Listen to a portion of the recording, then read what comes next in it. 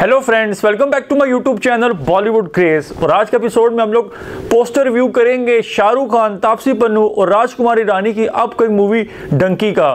Friend इस time जितना इंतज़ार लोग डंकी मूवी का कर रहे हैं आई थिंक इतना इंतज़ार शाहरुख खान की लास्ट दो ऑल टाइम ब्लॉकबस्टर मूवीज़ जवान और पठान का भी नहीं हुआ।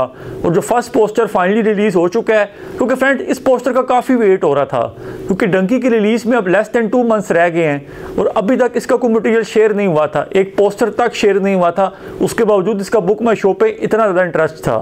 तो फ्रेंड जो फ़र्स्ट पोस्टर आया है, इसे देख के लिटली जेन से एक ही वर्ड निकलता है माइंड ब्लोइंग एक पोस्टर में आपको इतना ज़्यादा कुछ सोचने पे मजबूर कर देते हैं मेकर्स कि लिटली आपका दिमाग घूम जाता है कि आपको कौन सी स्टोरी डंकी में देखने को मिलेगी। फ्रेंड मुझे पर्सनली जो सबसे अच्छी चीज़ इस पोस्टर में लगी है, वो इसकी कैप्शन है a soldier journey to keep its promise हम जो लोग सोच रहे थे कि इसमें सिर्फ़ एक डंकी लगेगी, जो इलीगल शाहरुख खान फ़्लाइट लेंगे कनाडा की या किसी और मुल्क की, सिर्फ़ इतनी स्टोरी होगी।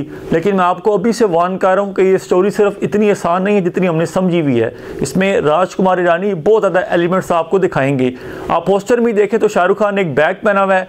हाथ में कुछ उनके मटेरियल है और सामने उनकी अच्छी खासी इम्टी स्पेस है। और वो कौन से कंट्री में इस वक्त जा रहे हैं, कहाँ फंसे हुए हैं, ये अभी तक कोई गैस नहीं कर सकता।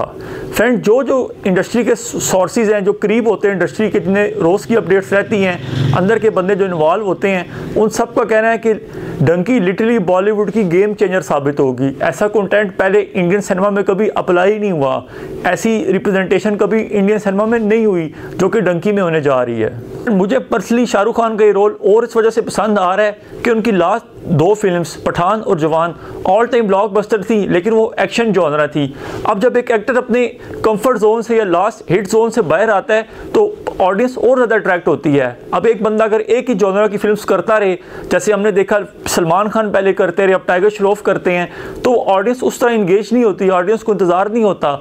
लेकिन शाहरुख खान अब डंकी में एक और अवतार में नज़र आएँगे, एक इमोशनल एक फैमिली बैकग्राउंड एक लव स्टोरी हम सबको देखने को मिलेगी।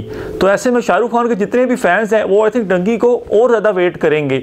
डंकी को ब्लॉकबस्टर बनाने की और ज़्यादा कोशिश करेंगे। फ्रेंड हम आपको पहले बता रखा है कि डंकी का टीज़र आपको दिवाली के मौके पे देखने को मिलेगा। मोस्ट प्रॉब्लली इसका टीज़र सिनेमास में भी टाइगर थ्री के साथ अटैच कर दिया जाएगा। तो मेकर्स की फुल कोशिश है, आज से आप लिख लें कि आज से डंकी की प्रमोशन स्टार्ट हो चुकी है।